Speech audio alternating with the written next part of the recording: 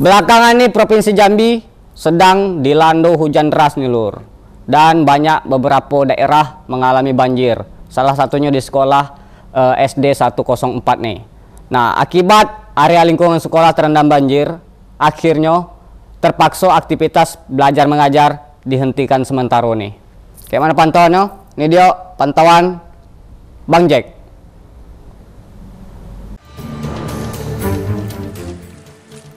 Aktivitas belajar mengajar di Sekolah Dasar Negeri 104 Kelurahan Palima Kota Baru Kota Jambi pada Jumat 11 November 2022 diliburkan sementara.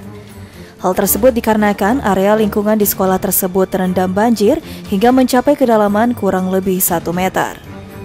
Meski tidak merusak fasilitas ruangan sekolah, namun akibat ketinggian air tersebut membuat akses menuju ruang kelas terputus.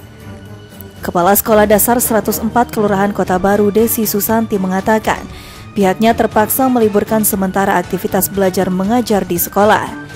Selain memutuskan akses ke ruang kelas, fasilitas perpustakaan juga turut terendam akibat banjir.